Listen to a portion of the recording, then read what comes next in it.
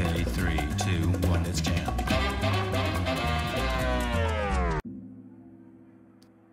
Hey Bebop crew and welcome back to the channel.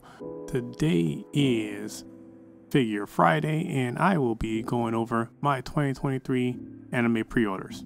I know we're already in March, but I wanted to display some of the figures I will be getting for this year because my figures actually don't start coming in until March. So let's get into it.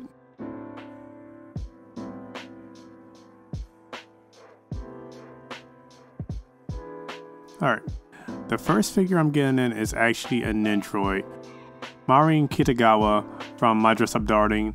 And this figure is about 5,460 yen, which is going to be about 40 USD, made by Good Smile Company. Now, Marin is the waifu of last year and probably still one of the best waifus we have. So I'm happy that she will be my second Nendoroid for me to ever collect next to my Komi Nendoroid. So I'm happy to have her added to this collection.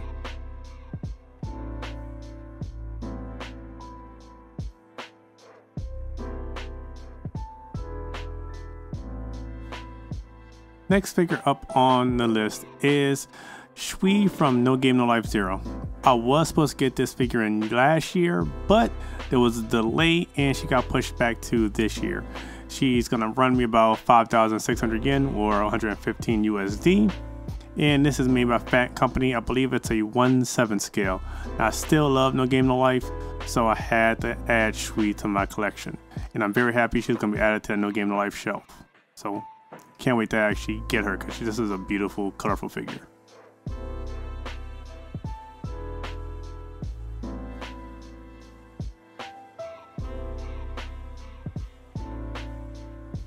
Okay, next is one of my waifus. It's Jeanne Alter from Fate Grand Order.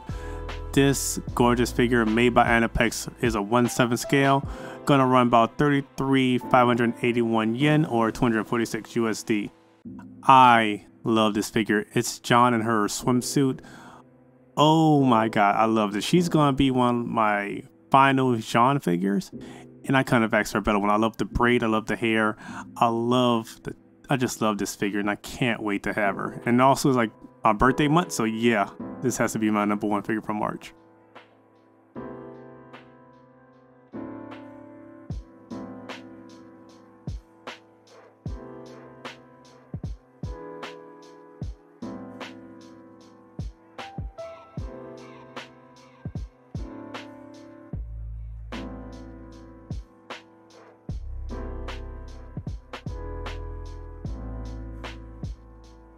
Now for April, the first figure I should be getting in is my first Hatsune Miku.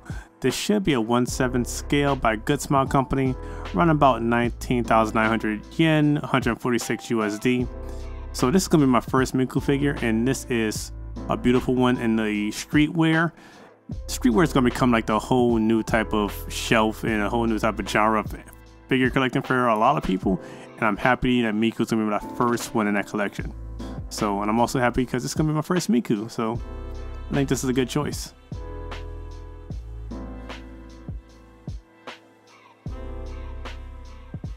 Alright, next up we got Scathach from Fate Grand Order Bunny figure by Alter. Now Alter is one of my favorite companies and I missed the original release of this figure so I'm happy that I get to get it now.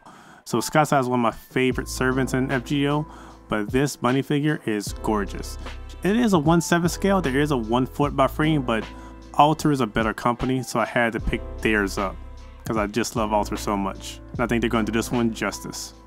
So I had to get Scathach just like I had the Recruiter in FGO.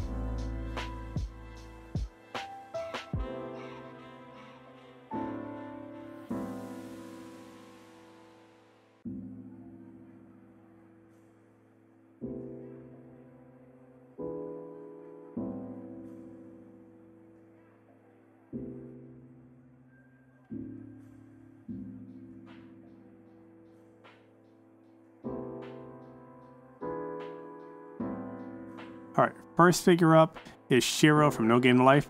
This figure was also supposed to be released in 2022, but it got pushed back and delayed. It is a Phat Company 1-7 scale. This is a re-release, and it's going to run about 14,770 yen, 108 USD. Again, love No Game Life. I love Shiro. I'm very happy with this one because it's not one of those sexualized ones because I don't like those for Shiro. But this one's very elegant. This one's very cool. And I love the chibi minifigures that come with her. So I'm happy to have Shiro join the collection.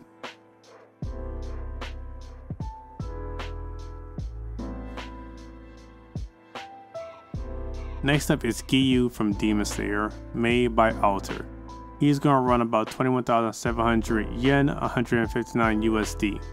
He's gonna be my second Demon Slayer figure right after Rengoku. I am trying to collect all the Hashira, and unless they make remake Rengoku by Alter, I do I am happy to have Giyu from Alter because this one is a beautiful figure. So hopefully I don't cancel him. I have been canceling a few figures, but I don't think I will for this one. Let's hope not.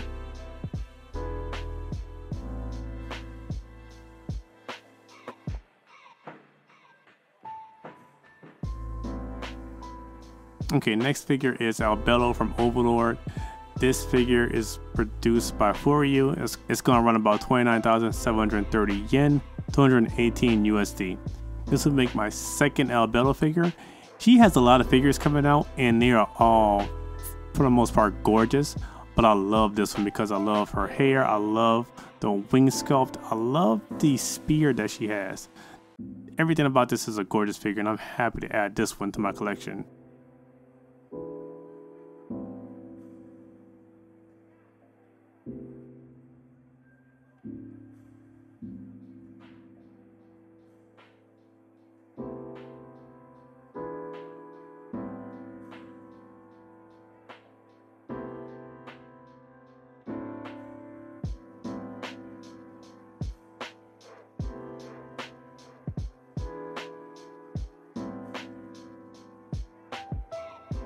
Okay, first figure for July is Miku from Quintessential Quintuplets.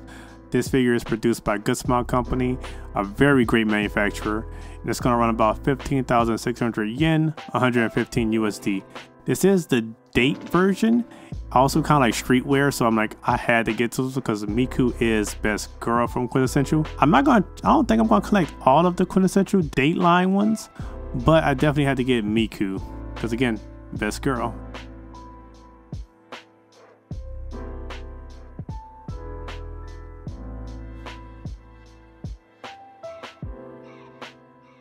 Okay, next obviously is going to be Mito from Food Wars. This figure is made by FREEing, to run about 36,300 yen, 267 USD. If you don't know, I love Food Wars. It's one of my favorite series, especially my favorite ecchi series. I have all the other bunny girls, so I had to add Mito into the line. And she is a beautiful character. Dude, love the color of the, the bikini, love the skin color. She's like she's she's definitely waifu material. So happy to have Mito.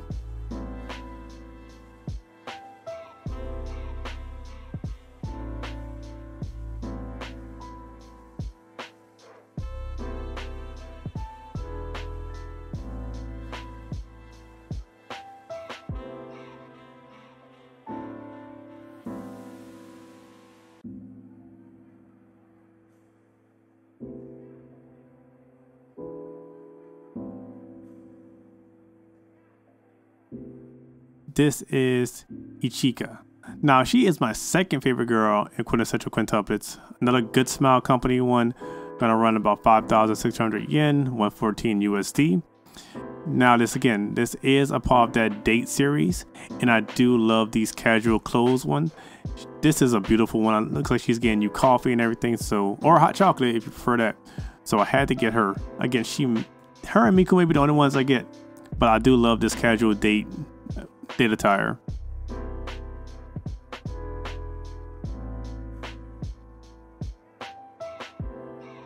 All right, next figure. This is the original figure is codename Addicts, original illustration by A-Strum Design. Gonna run about 28,300 yen, 208 USD. Now, I've seen this art, I have this like saved somewhere, and I love the fact that it has a figure because again, it's more casual wear, but it's also very beautiful, elegant, it's just, just, I don't know, something about it is just amazing. This one also comes with an art print, which I will be paying additional for with that um, pre-order price. This figure, just gorgeous. Gonna look so nice next to Miku.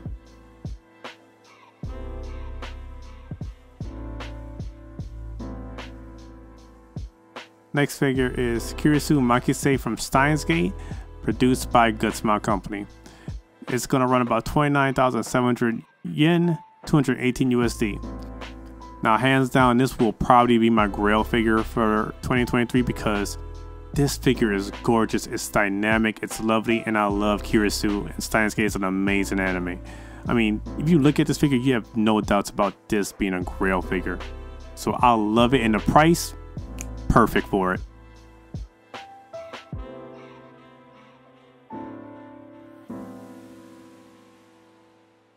Okay guys, that's actually going to wrap up my 2023 figure collection or expected things that's going to be added to my collection for this year. I may add more things, you know, I may have a random spurge to buy something. But overall, that's really about it. I actually don't have a lot of pre-orders this year. I did cancel one or two but overall I may add some things back or I may cancel more things. There is one figure that I'm still waiting on that was supposed to be there for like two, three years ago, and it is my Mash from Fate Grand Order with her shield. That figure still has not come in, so I'm still waiting, and I don't know when that figure is coming in. I'm very tempted to just cancel it and use that money towards a figure that I really do want, but I, I really do want this figure. I just don't know what I'm to get her. So I don't know. That's a figure that's still, you know, to be determined what's to happen with that one. But overall, guys, that is my 2023 pre-orders. Let me know what you're pre-ordering. Let me know if you have any of these items on your list. Or tell me, you know, just put down a comments below or a link to my figure collection what you're actually getting. Did I miss some gorgeous figures that I should be adding? Please let me know. Anyway guys, I want to thank you very much for watching and I will see you in the next video. Later Bebop.